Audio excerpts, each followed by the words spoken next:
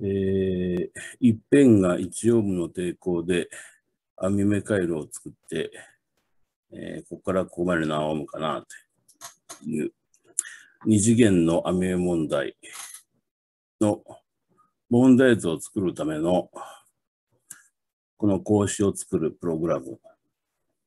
を考えてみました。まあ、X 座標と Y 座標を順番に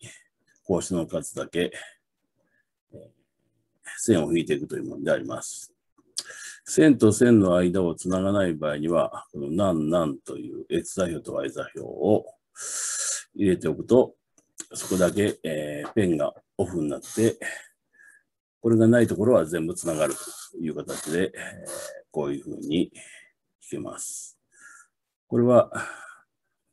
横方向に3つの網目、縦方向に4つの網目を作る関数を作ったと。関数なので数を増やしてやっても全く同じように動くということになります。当然それをちょっと拡張して XYZ 方向に展開してやれば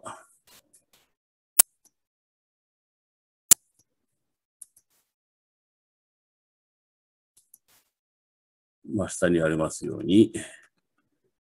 3対4対5のタゴラスの立方体の対角抵抗を求めようの問題。17×17×17 のルービックキューブの対角抵抗を求めようという問題の